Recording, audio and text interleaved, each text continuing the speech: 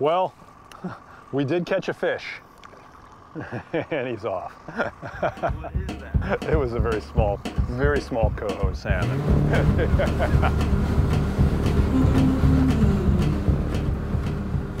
you know, you fly across the country and uh, you, you look out the window, you can't help but see what the impact of humans is on the landscape.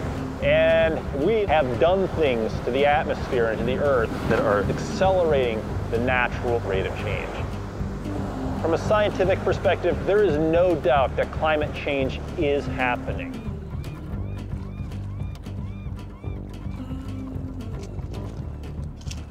The lure is called a coho killer. How's that for blood and guts?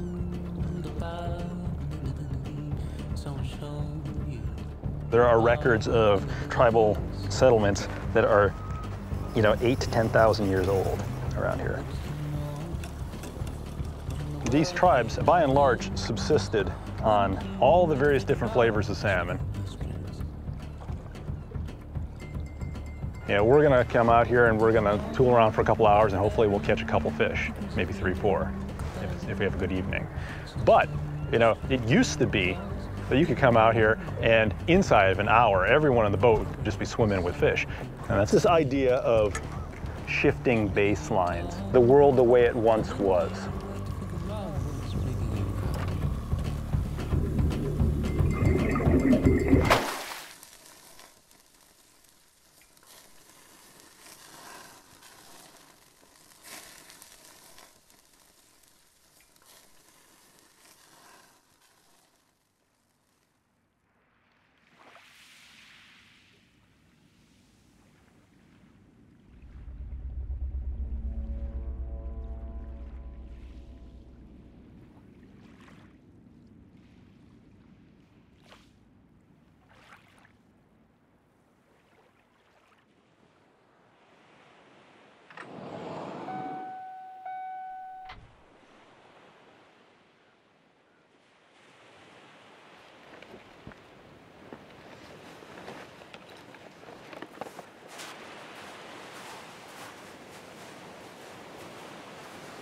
Never get tired of seeing this stuff, really. If people had their act together, they would make this into a national park.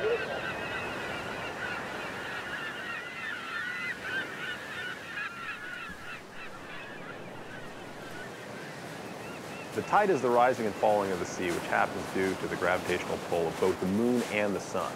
So when this tide is higher, you'd never even know that these lower rocks are out here. It's a large area that can be exposed. And so for organisms that make their living here, you know, this is a, a pretty harsh thing because they're inundated by water and then they're exposed to air. That's a huge temperature shift.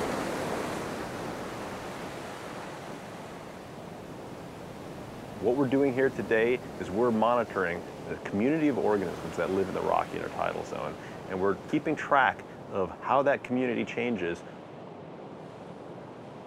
With climate change, when you have these, these periods where the temperature rises, um, it is going to change the fundamental nature of this ecosystem.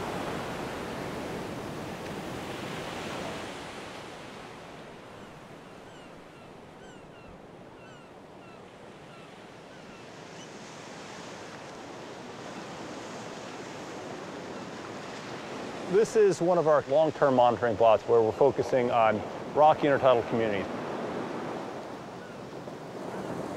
As part of this long-term monitoring program, we have set up a series of permanent plots that we come back to monitor every year. This is a plot which is 10 meters long, and it really spans two zones. It's the barnacle algal zone up the, on top, and then down below in the middle elevations, the mussel beds. Intertidal zonation is a pattern of community structure that results from physical tolerances and biological interactions that results in distinct bands of organisms at different elevations. The idea here is, is that we're not just trying to assess the density of organisms and the type of organisms within each one of our plots, but we're also trying to assess how the barnacle zone and the mussel zone are contracting and expanding over time.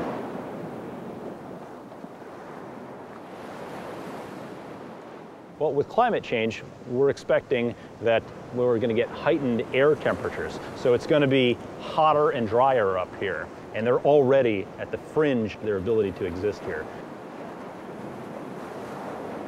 These mussel beds create habitat for a whole host, a whole community of other organisms also. I would like to think that, uh, that when my children uh, get to an age where they can truly understand exactly what their dad does for a living. I hope they actually think that I am doing something worthwhile, that I've done something worthwhile, and that I have contributed.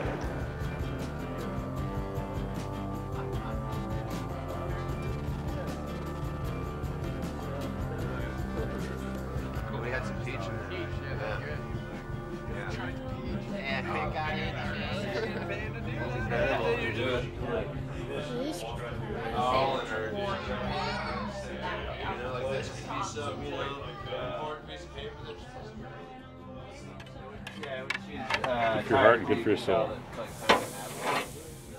I've got such a great crew. We had some peach And I'm a, I'm a big believer in relationships. So the emphasis is on doing the best work that we can do, having it be worthwhile work, and enjoy doing it.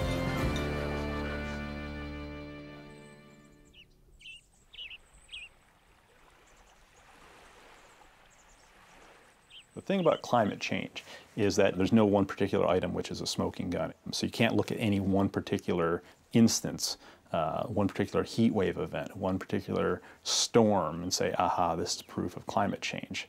Proof of climate change is taken over a longer period of time. This long-term monitoring is very important because we want to be able to show these long-term trends because we're expecting to see a steady decrease in ocean pH, incremental increases, say, in the frequency and magnitude of storm events, increases in sea temperature and sea level, things like that. Proof of climate change is actually the weight of evidence over a period of time.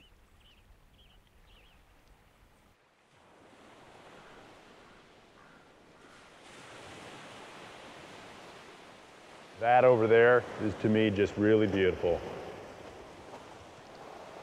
This is the Olympic coast. This is archetypal, classic Olympic coast right here.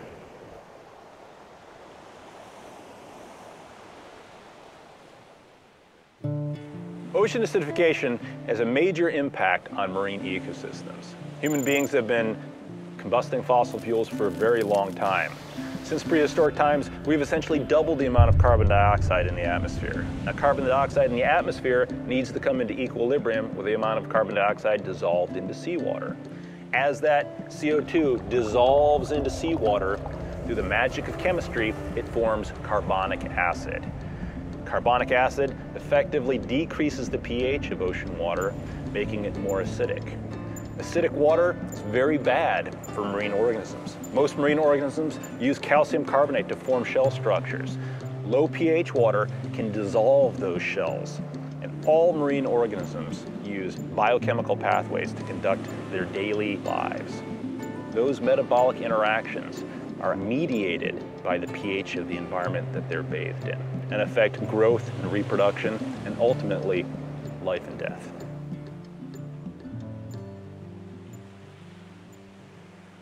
And so what we have done is we've taken a big tide pool like this and we have mounted an instrument on the side of the tide pool. We're trying to measure what the pH is of this water that's bathing all these organisms.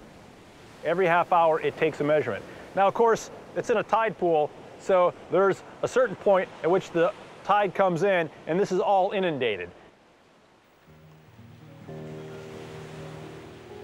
we can see changes in community that also correlate with changes in the ocean chemistry, that's a very powerful tool to say what the impacts of a changing climate are.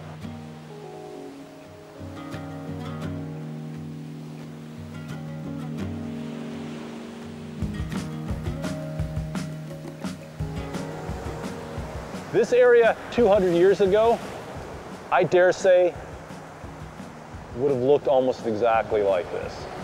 Very similar to this.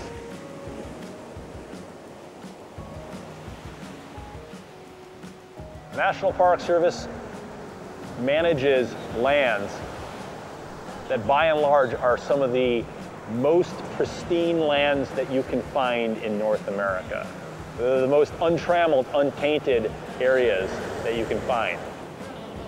We monitor long-term climate change in the national parks so that we can assess how climate change is impacting these valuable park resources. There's also great value to this monitoring for comparative purposes to more impacted areas outside of our boundaries. Man's role in climate change is that primarily through the combustion of fossil fuels, we've accelerated the process. And as a society, we're vitally linked to the ocean. We rely upon the ocean as a source of food and in a variety of different ways. As climate change begins to impact marine food chains, that has the potential to profoundly impact how we interact with the ocean, how we rely on the ocean and the terrestrial environment. We have been put along a certain path, a certain trajectory with climate change. But that doesn't mean that we should throw up our hands and say that all is lost, sit back and enjoy the ride and keep doing what we're doing. I think that, uh, that we can ameliorate some of the long-term effects by moderating some of our behaviors. As a species and as a society, we have the obligation to think that far ahead.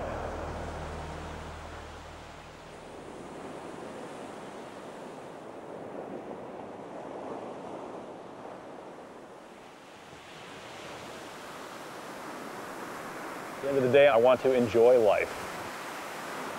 I enjoy good food, I enjoy good drink, I enjoy good places and good people. And if I can do some good while I'm here, that is icing on the cake.